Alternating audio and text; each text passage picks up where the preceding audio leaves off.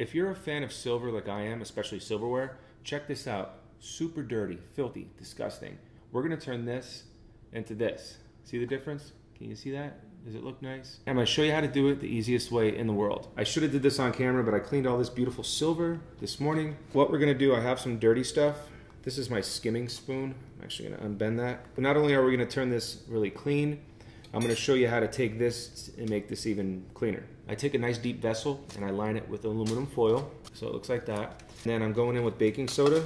I'm using two tablespoons, equal parts salt and baking soda. So this is a expensive sea salt, that's all I have. What are you gonna do?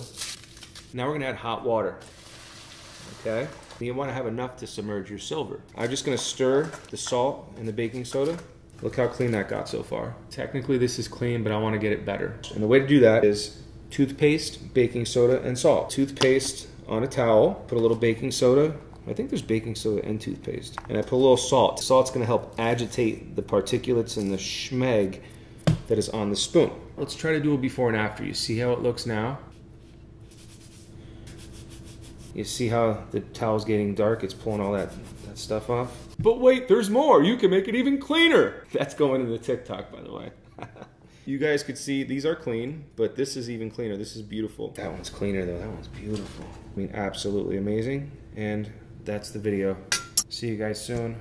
If there's any scientists out there that can tell us why this solution cleans the silver, we'd appreciate that too.